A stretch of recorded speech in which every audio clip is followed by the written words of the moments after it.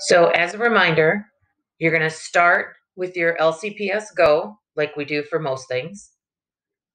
You need to find your library resources tab, which will look exactly like this one. Click on that. It's going to open up all your library resources, which will look different than mine, but and what you're looking for is that green Follett Destiny because that's the card catalog. And when you click on the card catalog, it'll take you into the whole big list. You just want Cardinal Ridge. Hit Cardinal Ridge. And you're going to get something that looks a lot like this. It's just the generic catalog. Hit login. And this is where being logged into LCPS Go comes in super handy because all you're going to need to do is hit this blue bar and it will log you in with your lead, your LCPS lead credentials. So simply hit this bar and it will take you into Follett Destiny. So once you're actually in the catalog, this is your generic search screen. You may not have as many details on your screen as mine. That's fine. Yours will have library search and Destiny Discover. You want to make sure that this is the search bar you're using, and you can see you can search by any keyword, title, author, subject. The thing to really be aware of in this screen is that you are searching the Cardinal Ridge Elementary School catalog.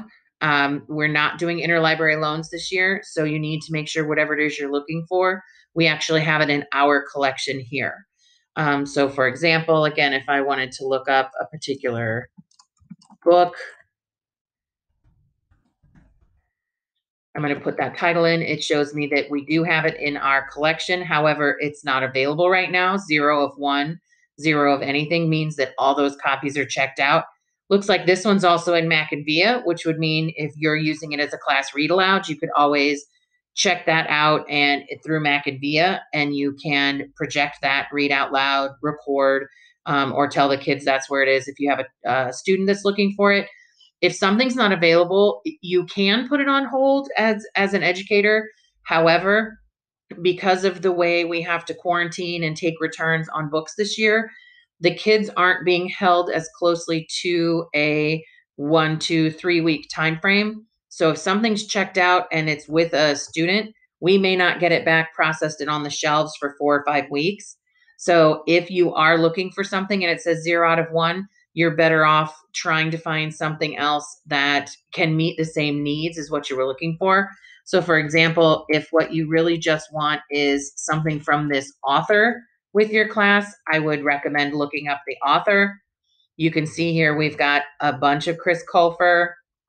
Coming down here, you can see the whole, we have pretty, we have his entire collection. So if this is the book you decide you want, you see that there is one available. Just click on the title. It's going to show you the information about the book. And then you want to hit hold it. So you're going to hit the hold button. Is this what you're asking for? Yes. Hit save. And it's now on hold. So what that will do is if someone else is looking for it, it now says it's not available.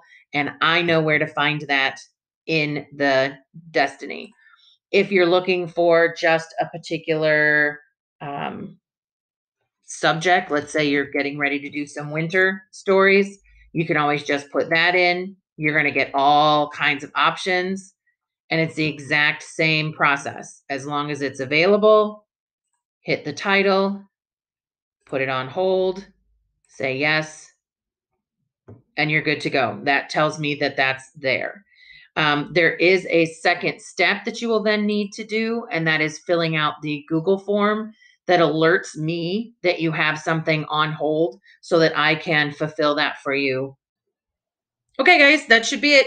Make sure that you have filled out the Google form and submitted the Google form. Uh, that gives me sort of the alert that there's something on hold for you so I can keep an eye out for it. The students are using the same hold feature in Follett Destiny for book bus and concierge pickup and now hybrid classroom delivery. So there can be a lot of titles in there, a lot of names. I want to be sure that if you're requesting something for use with your classes, that I'm on the lookout for it so that I can find it and get it fulfilled for you as quickly as I can. If you have any questions, as always, just feel free to email me or Ms. Lane and we will help you as much as we possibly can. All right. Thanks, guys. Bye.